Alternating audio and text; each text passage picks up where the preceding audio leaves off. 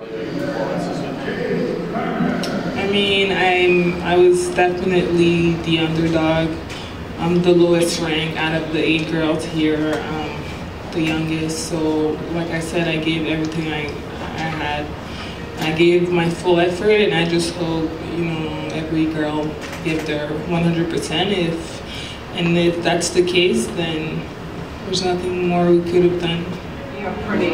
I just think, yeah, I'm new to this level, but I've also played some girls ranked way higher than her, so um, I just think, like I said, I was two games away from winning the match, so you know, at one point you just gotta, you know, win your serve and do the right things, and you know, she was a little bit more aggressive. I was missing more.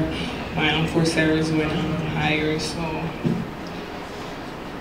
I mean, it's unfortunate, but you know, I could have won the match. Like I could have lose it, like it's the case. Um, like I said, it was a good opportunity um, to, to stay in the group, and unfortunately, it's not the case. So you know, we'll do what we have to do to hopefully come back to the group one.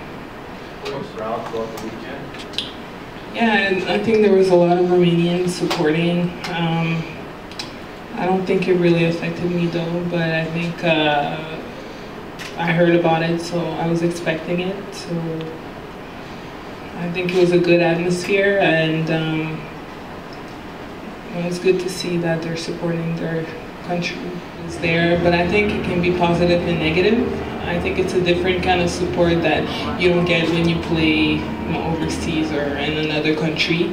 So it's a it's a special and it's a different atmosphere that um, I don't get in um, regular tournaments that I played throughout the year. I, I, I, played one tough match yesterday and you know I had another big challenge today so you know I can't say that I was like top shape in the third set so it was definitely a little bit hard physically and mentally but I you know, I, I give her credit to my opponent because she's really stayed and, you know, I give my 100% and she, she won, so I guess it wasn't enough. So I think I'll have to maybe work, know, keep improving overall.